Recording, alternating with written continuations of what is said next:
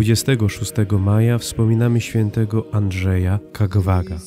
Andrzej pochodził z plemienia Benjoro i należał do klanu Kiwere. Urodził się około roku 1855.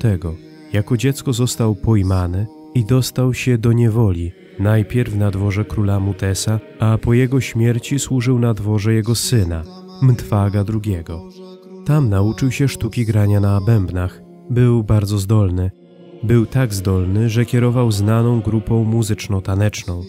Poznał też islam.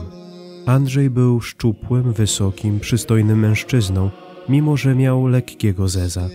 Zgodnie z zasadami islamu, był dobrym i hojnym w stosunkach do ubogich. Jego dobroć i pogoda ducha zjednywały mu wielu przyjaciół. Gdy na dwór króla Mutesa przybyli pierwsi misjonarze katoliccy, zainteresował się wyznawaną przez nich wiarą. Szybko ją poznał i 30 kwietnia 1882 roku został ochrzczony. Był jednym z pierwszych chrześcijan w Ugandzie. Kilka miesięcy później misjonarze katoliccy zmuszeni zostali do opuszczenia misji w Ugandzie. Osiedlili się poza granicami kraju, ale w ich pobliżu. Nowo ochrzczeni dworzanie zostali sami, bez duszpasterzy. Andrzej, przez wszystkich lubiany i szanowany, szybko zyskał zaufanie. Gromadził w swoim domu kandydatów do chrztu, głosił katechezy, czytał wspólnie Pismo Święte i modlił się. Znany był z dobroczynności, wykupił niesłusznie oskarżonego przyjaciela i przyjął go do swojego domu. W czasie epidemii dżumy, nie bojąc się zakażenia, przyjmował chorych do domu, opiekował się nimi i nauczał ich religii chrześcijańskiej. Przed śmiercią chrzcił katechumenów, a później grzebał ich ciała. Był jednym z pierwszych ludzi w Ugandzie, który zawarł związek małżeński w kościele i żył tylko z jedną kobietą. Wielożeństwo było bowiem czymś naturalnym, pozwala na to islam. Wszystko to ściągnęło na niego gniew premiera, który oskarżył go o zdradę stanu. Padł ofiarą spisku dworskiego, mimo że król Mwanga II bardzo go szanował i miał do niego zaufanie, wydał go w ręce spiskowca. Winą Andrzeja było to, że wyznawał wiarę w Boga, że był chrześcijaninem i żył zgodnie z nauką Kościoła. Andrzej w nocy poszedł do misji, by przygotować się na pewną śmierć. Uczestniczył we mszy świętej, przyjął komunię świętą, a następnie wrócił do Muneono.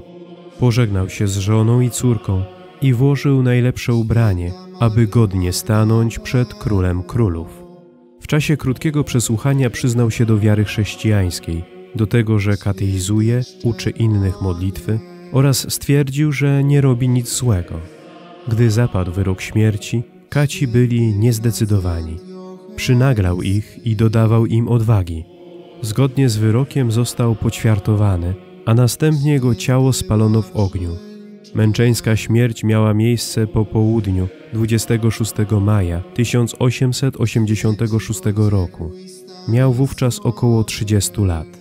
W miejscu męczeństwa od 2013 roku ojcowie franciszkanie konwentualni pracują i budują sanktuarium.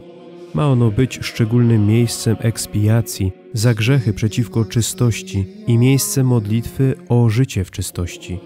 Przy sanktuarium budowany jest ich klasztor, seminarium, dom rekolekcyjny. Ma to być miejsce modlitwy, formacji i ewangelizacji. Święty Andrzej jest patronem katechistów. Każdego roku 26 maja pielgrzymują do jego grobu katechiści z całego kraju. Do miejsca jego męczeństwa przybywają na modlitwy całe rodziny, a także młodzi ludzie, by prosić o dobrą żonę lub dobrego męża. Męczenników z Ugandy beatyfikował papież Benedykt XV w dniu 6 czerwca 1920 roku. Kanonizacji dokonał papież święty Paweł VI 18 października 1964 roku w Rzymie w czasie trzeciej sesji Soboru Watykańskiego II.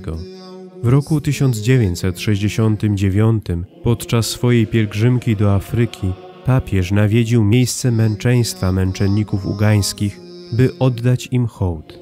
W sanktuarium poświęconym ich czci modlił się również święty papież Jan Paweł II oraz papież Franciszek. Wszystkich męczenników z Ugandy liturgia wspomina w dniu 3 czerwca. Módlmy się. Boże, Ty sprawiłeś, że krew męczenników stała się nasieniem chrześcijan.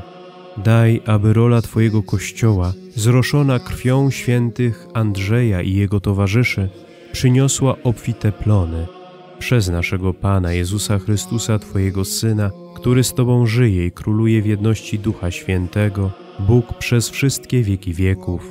Amen.